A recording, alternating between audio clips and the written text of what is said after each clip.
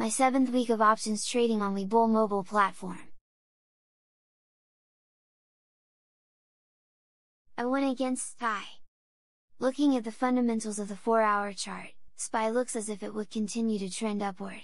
The green 13 EMA is above both my 48 yellow EMA and 200 red EMA. MACD is still going up and there are more sellers than buyers right now. Against all the information that I gather, I placed several puts on SPY.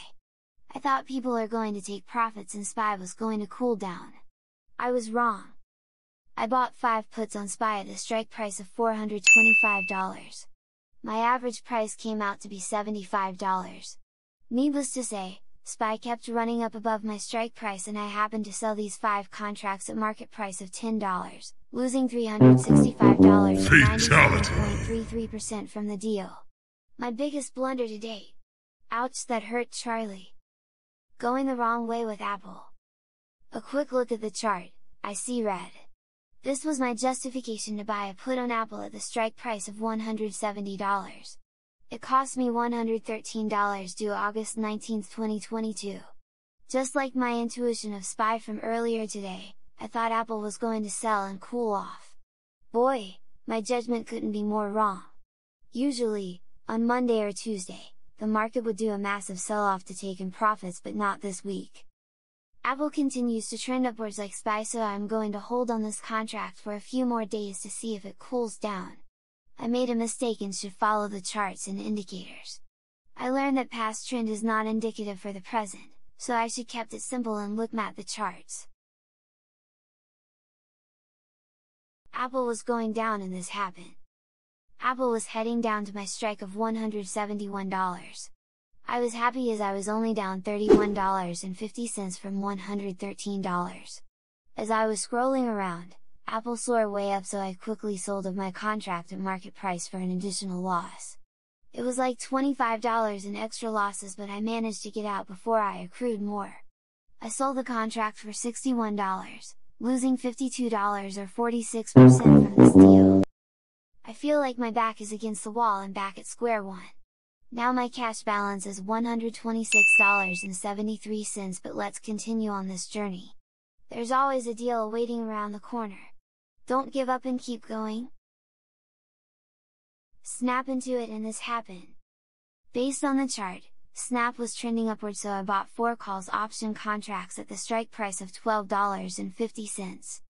I set my limit price at $30 and Webull sold me 4 contracts. I was excited later to see Snap went above my strike price of $12.50. I initially set a limit price of $42 for Webull to sell 2 contracts. It sold these two at my limit price. The remaining two, I use a take profit stop loss. My take profit was $45 and my stop limit was $36. Eventually, Webull sold off the remaining two contracts of Snap when it hit my take profit at $45. Snap continues to run up so next time I should keep one last contract just in case it does. I made a total of $174, that's $54 or 45% from Snap. Outstanding! I placed calls on Under Armour. Based on the chart and indicators, the green 13 EMA is above the yellow 48 EMA and red 200 EMA. MACD is above the signal and from the stochastic RSI, the green is below yellow meaning it is undersold. All good signs to buy a call. I bought two call contracts at the strike price of $10.50 that expired August 26, 2022.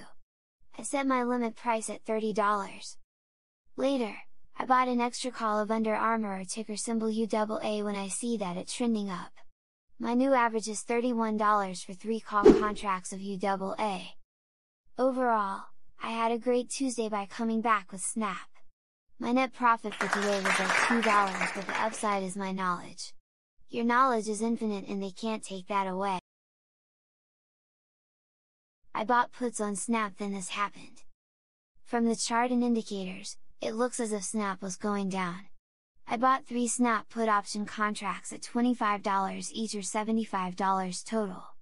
Snap did a detour and turned back up so I panicked sale. I sold off all my option contracts of Snap for 27 each. I made $6 or 8% from this deal. If I only exude more confidence and patience, Snap continues to trend downward then I would make more money. Scared money makes no money. Don't play scared. I regretted selling them all and maybe should have kept one and remained in the play. Snap was trending upwards. From the chart and indicators, it looks as if Snap was going upwards. I bought four Snap call option contracts at $18 each or $72 total. The moment that I bought those call contracts of Snap, it continued to tank afterwards. It went well beneath my strike price of $12.50 and even below $12. It made me think about those put contracts that I had on them from earlier today. Snap made a decent recovery and actually I could have made a few extra dollars but I am going to chance it. I am going to keep these contracts overnight and see if I could turn a profit tomorrow. How to average down? I see that Under Armour was trending downward so I want to buy an additional contract. Prior to this, I already had three contracts of Under Armour ticker symbol UAA. The three contracts averaged to be $31. Buying this new one cost me $18. My new average cost for 4 contracts of UAA is $28. I try to average down when my contracts get lower and I believe that they make a recovery. Average down when you see a stock get lower and you can afford to do this. Snap was on a rocket ship.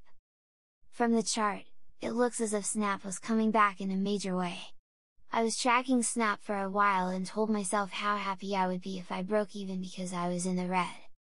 Instead of selling all my contracts like I did the past several weeks, I set up to sell two of my contracts. My ceiling limit price was $42 and my stop price was at $20. I later modified my stop limit to $24.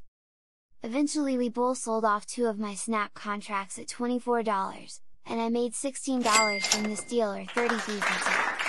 I set one for the limit price of $42, and a final take profit stop loss. It hit my stop loss at $36.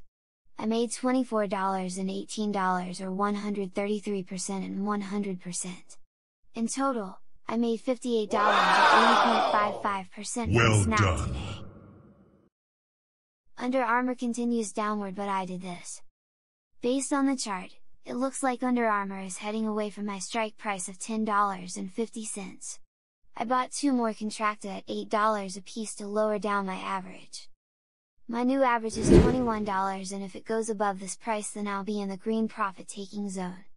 I have until August 22nd or next Friday until these contracts with Under Armour expired. I hope to turn a profit by then.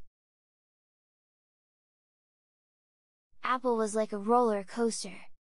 I checked my buying power at first, and it was $112.20, which is enough for me to buy two put option contracts at the strike price of $172.50.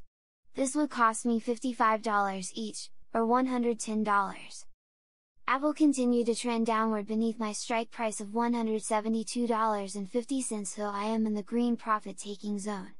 I set up my limit price at 1.20 and stop price at 0.90. Eventually, Webull sold my one contract at $90 when my stop limit was triggered. I made $35.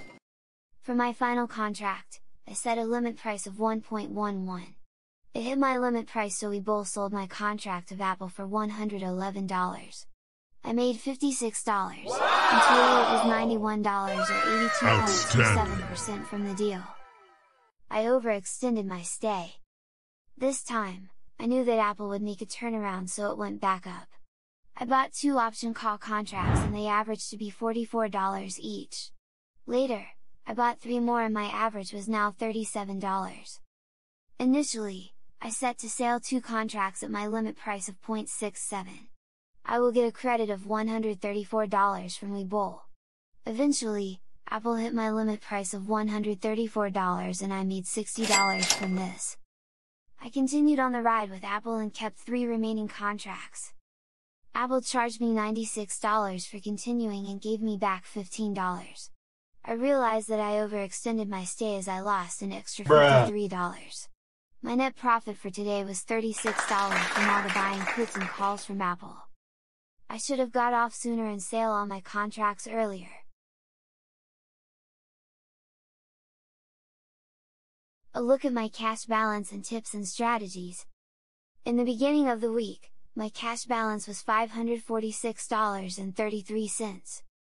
Now I have $147.22 in my cash balance and 10 contracts of Under Armour at the average price of $14. These contracts expired in about a week on August 26, 2022. I'm down $374.11 or 68.47%. Ouch Charlie, that hurts. I made a major misstep on Monday, August 15th that didn't happen until Friday, August 19th. I bought puts for SPY when it was continuing to run up. Tip number 1, follow what the market gives you, not your intuition. It made sense to buy calls then, and puts on Friday. Tip number 2, set up your take profit stop loss so you have a safety net. The market didn't return my gains on Apple so I lost Bruh. my money. Be smart, trade with the chart, this will grow a big heart, that'll allows you giving to the world to start.